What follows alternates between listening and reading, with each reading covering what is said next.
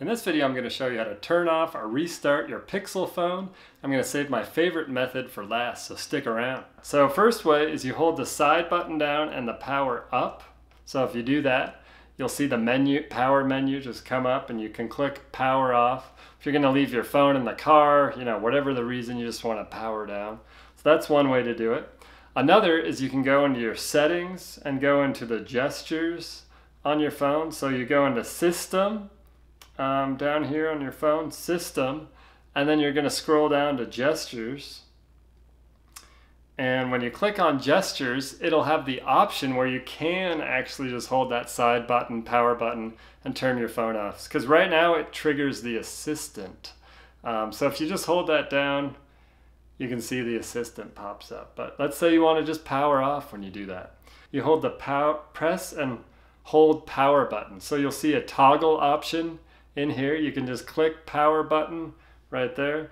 And now when you hold the power button down like that, voila, just gives you the power off option right there. Or restart, whatever you want to do.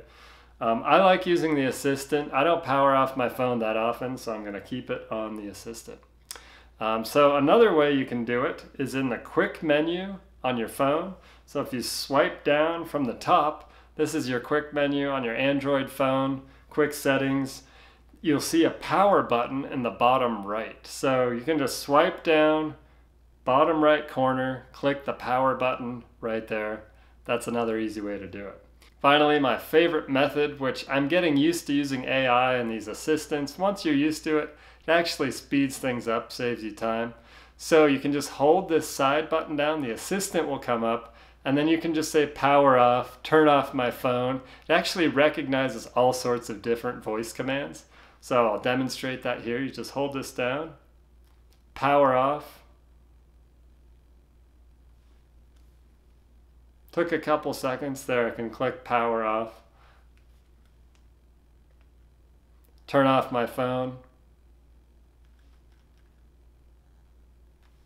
Another option. Finally, if none of those buttons are working, you can hold the side button or power button and the volume down for about 15 seconds and this will force restart your phone. So you'll feel it vibrate after about 15 seconds and then it'll start back up again. Hopefully one of those options is easy enough to do. My favorite is just using the assistant. You can also switch the gesture if you really want that side button to be a power down. That'll work for you too. If you like this video, give us a like and subscribe to our channel. We'll see you again soon.